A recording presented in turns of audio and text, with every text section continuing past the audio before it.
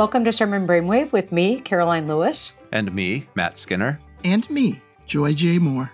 This podcast is for the 25th Sunday after Pentecost, which falls on November 10, 2024. And our readings are 1 Kings 17, 8 through 16. Our semi continuous first reading is a second section of Ruth, chapter 3, 1 through 5, and then chapter 4, 13 through 17. Psalm 146. We continue through the book of Hebrews, chapter 9, 24 through 28. And then our gospel reading is Mark 12, 38 to 44. We also want to let you know, listeners, that this podcast is being recorded prior to September 10 and therefore prior to the election that we would have just had in uh, if you are a listener in the United States. So we know nothing. and there we have it. Yeah. And as we said last week, it's probably a good thing that we're not recording up to, as anxieties raise and all of that. Maybe we can just focus on the text and the good news in the text and not that we want to go, our preaching is about blocking out all the unpleasantries of life, but sometimes it is. our listeners in other countries are probably wondering when the next campaign season starts, and the answer is in about probably two months. We'll get, yeah, we'll get going yeah. 2021. If, yeah, if that. yeah. So sorry. Sorry. Yes. So here we are in uh, Mark. We only have one more week of Mark, November 17, and then we switch gears into a into the new theological universe of Luke. So, as I mentioned last week, I think one of the things that the preacher wants to do is reflect on your preaching over the year on Mark. What themes have you lifted up? What aspects of Mark have you felt that are important for your congregation to know? What what does how does this story tell about the good news of Jesus that you have felt as particularly meaningful for your congregation at this time and place? And how can you maybe reiterate some of those in these last two? Uh, these last two Sundays, if you are preaching on Mark and you are not going through Hebrews or Ruth or the semi continuous. But just to mention that again, before we get to the text. And, but here, like last week, we said we had the nice, the good scribe, the thoughtful scribe, the questioning scribe, the scribe who is near the kingdom, seeking, seeking the kingdom. And now we have beware the scribes who like to walk around in long robes and be treated and greeted and uh, with respect in the marketplaces. And they have to have the best seats and the best places of honor at the banquets. So because what they bit, do after they get those wonderful yeah, after they get those wonderful privileges with all of their power, they have no accountability. And so they devour the least, the the um, folks who need um, th- that need them to use their influence influence to their benefits. Uh, I think one of the things that uh, you set uh, the, uh, our preachers up real well for, Karoline, um, is think about how you've been going through Mark all along. If you've been preaching through Mark, um, regardless of you know what you might see in this text alone, thread it through what you've been doing with Mark all along. You know, if uh, if if you're feeling this is a time to sort of attack and you haven't been attacking don't do it now um, if if this if you have gone through uh, mark in a way where you have been more challenging um, then uh, it would be consistent for you to hold that challenging tone but to be sure that you do it in a way that is attentive to the caregiving that a pastor must always do. Um, uh, as was noted last week, uh, I think Matt brought this up, and Karoline, you just reiterated The scribe that we're talking about this week is a different type, different. The scribes that are being addressed this week are different than the scribe that sought Jesus last week. And so, in your language, uh, if you're going to be a bit harsh, do not be absolutist. Do not act as if anybody in this particular category is to be uh, uh, a monolithic example of everybody in that particular category. I think the gospel does not allow you to do that. And so, Karoline, I thank you for reminding us to think of the thread that we've been preaching all along this year. Yeah, it's a great point. I mean, he he castigates the Jewish leadership not because they're Jewish, not even because they're leaders. It's a castigation of hypocrisy. And if you can't find hypocrisy in your own religious community, you're not looking hard enough. So, um, so we need to sit with this uh, carefully yeah. as leaders, because somebody's got to pay for those long robes. And um, oh boy, right? How many churches would how many churches would wither away if if it weren't for widows and their generosity? Don't get yeah. me started. So oh, um, that's just true. Don't get me so started on robes. Pardon me? Don't get me started on robes. Okay. Oh, I thought you were talking about the widows. oh no, I'm oh yeah. All right. So no that's got to be talked about. like I don't know what the modern comparisons are to those who devour widows' houses or how that's done, but I would think predatory lenders are one of the. I mean, you can think of all kinds of businesses or all kinds of schemes. You know, if you don't watch more TV, from 4 to 7 p.m. and kind of see what's being marketed to whom. But I, you know, what's fascinating about this passage is uh, is the question of how to relate the two paragraphs. Mm-hmm. Jesus has pretty much finished in the temple. Chapter 13 will start next, and they'll be walking out and they'll say, Look at these large stones, what beautiful buildings. And we see who pays for those buildings and those stones. And so the same people who are devouring widows' houses have made it so that there's a woman in Jerusalem who has only two coins to her name. And that woman somehow feels a compulsion to give that money to the temple. And I don't think Jesus is calling her a sucker, Mm-mm. but I think he is by pointing her out, saying, Can you believe this? how come there's not a scribe at the box saying no you you keep that money in fact here's some more that's what this system of alms collecting is supposed to be about in the first place yes. so it's a tough text for stewardship season because we want to lift her up as this exemplar of giving and she is we don't know her motives we don't know if she's giving out of fear or love or what and so so i don't want to get into her head but we do know that he's just criticized scribes for being way too ostentatious mm-hmm. and they're mm-hmm. the ones who control the system. Mm-hmm. Yes. And the other, I think what you said earlier too, Matt, is important for interpreting this passage, particularly as you said, is it, you know, in stewardship season and such. But on the one side of of her offering is the denouncing of the scribes. And on the other side is the denouncing of the disciples saying, Ooh, wow, look at these great buildings, look at these big stones. And so bracketing her mm-hmm. are these observable these observable manifestations of potentially corruption or uh, or how how does this how do these how does this get to happen. Who's on on whose backs as you said does this uh, does this has this come to be?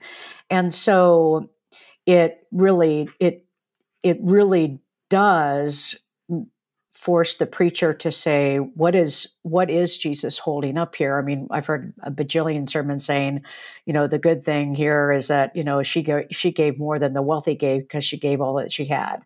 And then uh, but it but um, at the same time that's to what extent that becomes an easy out if you if you ignore the condemnation of the temple workings or the or the hypocrisy or the uh, the malfeasance or whatever what the corruption that is happening that someone who has all she has is allowed to do that. And so uh, so it i think that could be a really different sermon around stewardship to say that that that is the angle or that's the lens through which to you see how is it that we where where and how is it do we give to these religious institution or these religious structures? And in what capacity and and in what motivation? What do we expect out of it? Mm. uh, and so I, I think it could raise a lot of really important questions about why stewardship to begin with. Uh, why do we give to the church? What what what does that what does that all how how are we working that all out in our heads and in our hearts uh, as as ones who uh, support the church in one way or another? And we should just name this as hard right?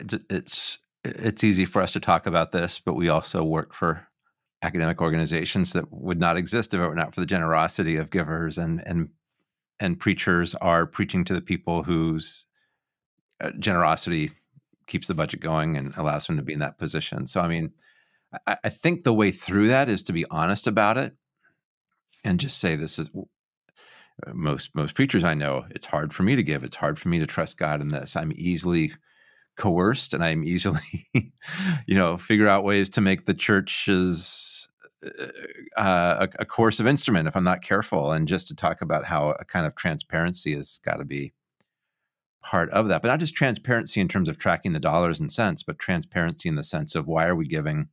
Why think this be good for us? Why would God commend almsgiving? What does our budget look like? Who's benefiting off of this? What what does outreach look like? And then to go back to last week, what does it mean to have a budget that honors love of God and love of neighbor above all else? Mm-hmm. It's important conversations that, to have, I think. Absolutely. And in that, um, uh, what does it mean to have a budget that is loving uh, God and loving nature, na- neighbor is the practices that this is this is um, evident of that um, she's trusting God. She doesn't have to covet what she doesn't have because she's trusting God will provide. Um, uh, Karoline, you mentioned uh, out of you know what is in our heart as we're giving. Um, so I think both of you have put on how this particular text needs to be woven in with what we've said the weeks before, whether we were referencing, um, you know, how do we love God and love neighbor, or whether we're referencing who we are criticizing, uh, the scribe, or identifying who is the neighbor um, make sure that our texts are woven together from week to week. This is a perfect example of doing that. Should we go to Zarephath? Yes. Another Let's see. Widow. What could what could the connection be? Let me think oh, about oh, this. Oh, oh, ask me. Ask me. Ask oh, me. oh, Joy, Joy, you have your hand up. I I think it's a widow. I think it's a widow. Huh? Huh? Huh? Good job, Joy. Oh, yeah. Yeah. did I just say this? But, you know, here it is uh, the invitation for this woman to trust God. Uh,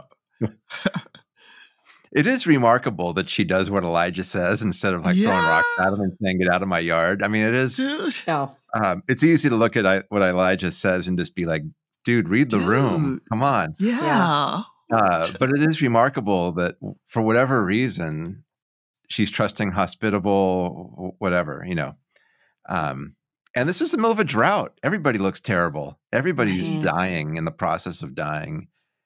And that's, I mean, there's there's stats about this, right? This uh, that poor people, hungry people are way more likely to help each other out than anybody else yeah. is likely to help them out. So that's yeah. part of it too. But there's a there's a, a I think this is an example of some kind of faith, whatever we want, to faith in whom or how or what we don't know yet. But yeah, and there's not a change for her. I mean, she was gonna eh, she was gonna have this and die anyway. So sure, you know, join us on company. our last yeah. on our last supper. You know, um, yeah. But I I really do appreciate uh, the fact that there are these there, there's recognition that when others around us are suffering like us, we tend to be generous. And when we seem to have a little bit more power, when we seem to have a little bit more privilege, when we seem to have a little bit more control, we forget where we came from or we forget those who aren't there with us. And um, I think that's that's worth noting, particularly if we think about the other texts that are in this this week's options. You know, and as you pointed out, Joy, in terms of this, is it about this the capacity to trust in God and and and I know that that I mean it's it's it's really hard when you wonder okay what uh yeah I, I need to be able to pay my bills and yes. all those kinds of things and uh, but verse 14 the jar of meal will not be emptied and the jug of oil will not fail until the day that the Lord sends rain on the earth. What a promise. And, yeah. And I think that could be, you know, that could be, uh, if you're, if it ends up being a stewardship kind of sermon or something, that that could be a really meaningful refrain mm-hmm. for people to hear that over and over again. Uh, I know I need to hear it over and over again. I I do and Matt, uh, I think it was you when we started. Um, you were, you know, teasing like, "Come on, Elijah, read the room." Um, preachers, read the room of your congregation. Um, mm-hmm. Mm-hmm. As um, clear as this particular episode is in its rehearsal, um, it also can be a metaphor for loss uh, that your congregation might be experiencing in some way mm-hmm. or another. Mm-hmm. And, mm-hmm. um, you know, if you're still trying to recover after the losses of the pandemic and you are in the midst of stewardship, this refrain that Karoline has yeah. lifted up could be that promise that God isn't done with us yet. Yeah. And, yeah. Uh, um, you know, we're still and so here. we're still here. We're still and here. So we are going to trust. Yeah. Mm-hmm, mm-hmm, yeah. Well, there's. Oh, go ahead, Karoline. You were. I was going to move on, but you're. I was too. I was. Oh. I would say this is where the psalm is your. That's what your, I was going to say. Your best lectionary friend this this week.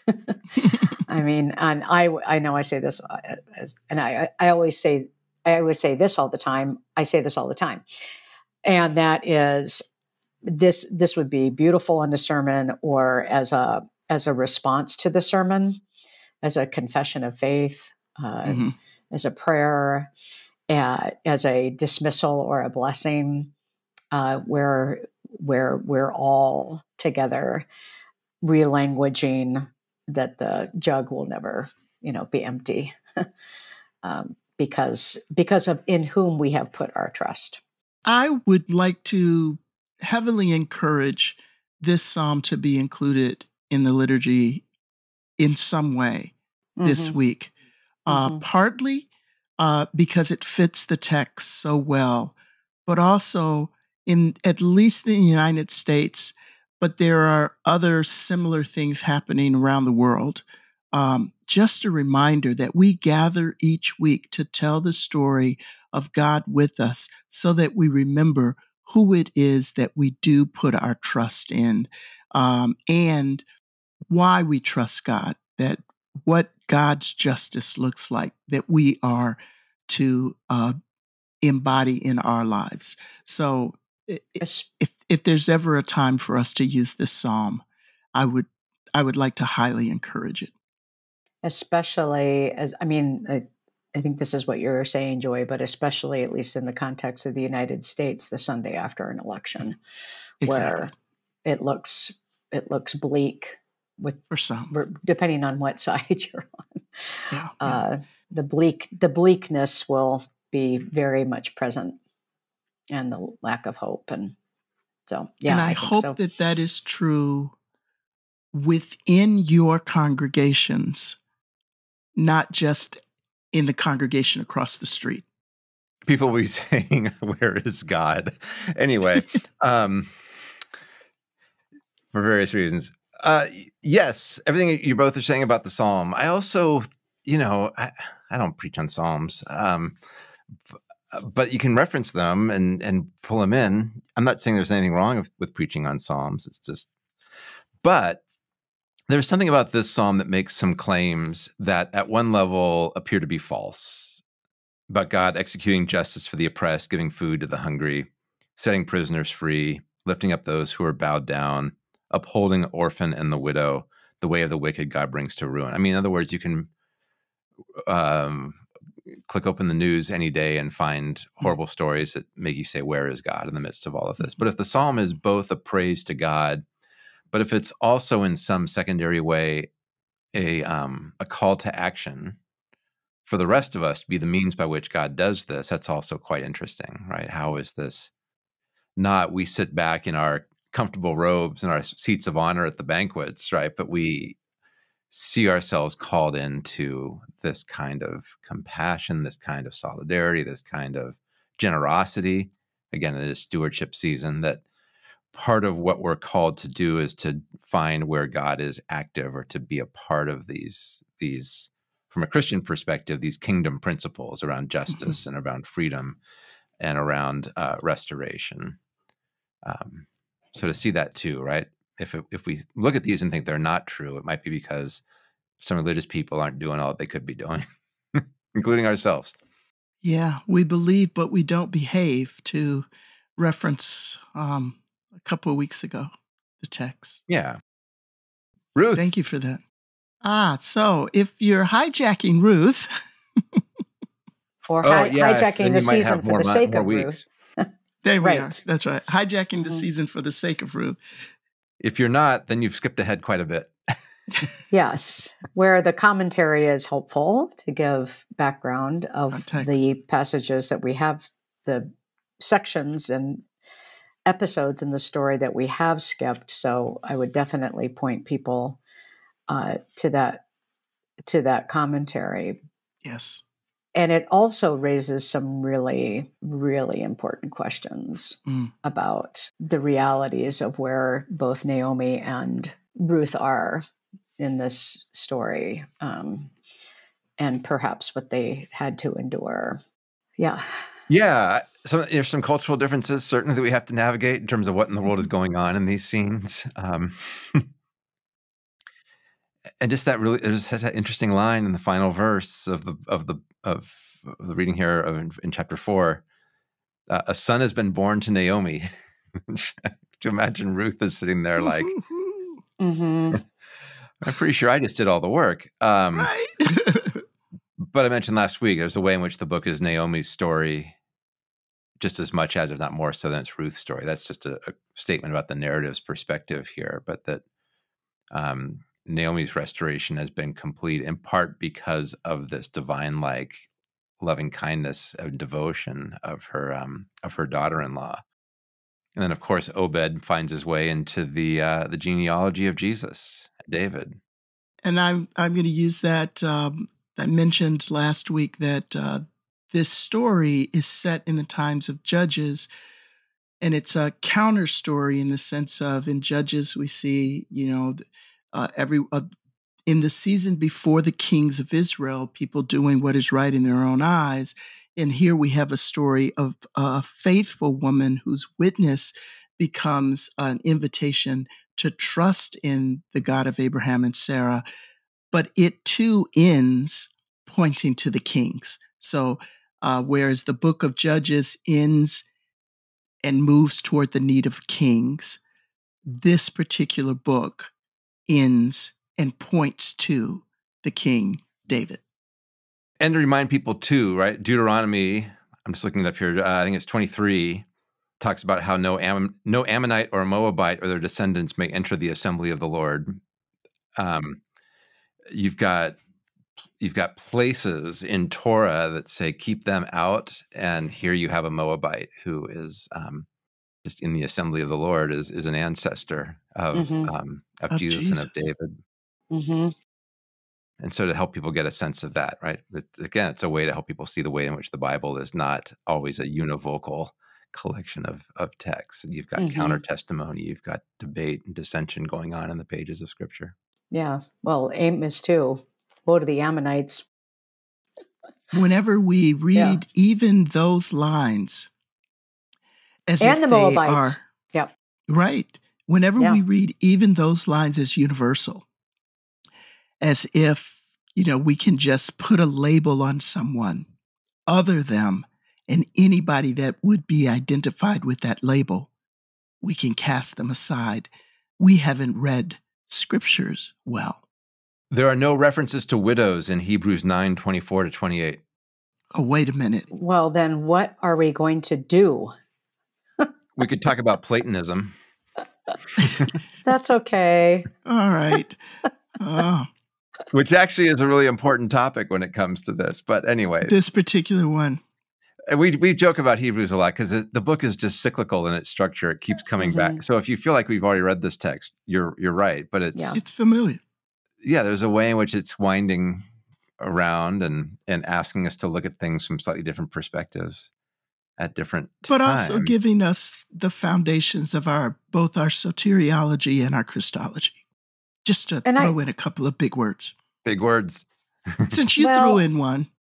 Yeah i think too one of the persistent themes of hebrew as well comes out here in particularly in verse 26 but as it is he has appeared once for all at the end of the ages to remove sin by the sacrifice of himself. I mean you have an author who so elevates the work of christ as the end all of end all and and that and there's something in some ways appealing about that conviction mm-hmm. that you know just keeps going back and that you know, that and you get this throughout you know that the comparison of the many times and one time and uh, just as there were people before but now there's christ of course the danger of that is to uh, to make that distinctiveness into exclusivity about claims of christ but it's uh, but it does it does invite, like you said, I think you used the word Christology and you also use the word soteriology, but it does invite us to eh, to think about, and I talk about this with our students a lot, Joy, as you know, what exactly animates your Christology? You know, what is it that, what are these claims about Jesus that you hold on to as central for why you believe in Jesus or what you believe in about Jesus. And I and you hear maybe not Hebrews directly quoted, but the way in the which people assume things about Jesus that that Hebrews claims. So Hebrews ends up in ends up in a lot of Christologies that's just I just not directly. Exactly. Exactly. Yeah. And there is uh, this this rhythm, you know, that is, you know, Jesus compared to Abraham, Jesus compared to Melchizedek, Jesus, you know, it's as as you said, Matt. Have we read this before? Yeah, but it's mm-hmm. pointing over here this time. Same same message, but it's pointing over there this time. Well, and here one of the key points is it's done, right? Like, hey, yeah. guess what? It's done, and that's that can be a liberating thing to be told right? That this thing is finally taken care of. When you think of like, what does that look like? Like it's done. It's taken care of. The old is gone. Time for the new. Mean, however you want to like put that, um, that should be kind of a, you know, exhale moment, um, and so to help people. Uh, I, I would that would be the mood of the sermon for me is to try to create that feeling that something's been lifted off of your shoulders mm. by the time the service is done or the sermon is done, however you choose to get there. Sermon Brainwave is a production of Luther Seminary's Working Preacher. Working Preacher has been a trusted source of inspiration, interpretation, and imagination for preachers worldwide since 2007. Find episodes and links at workingpreacher.org/slash brainwave, and be sure to rate, subscribe, and comment on YouTube. Thanks for joining us.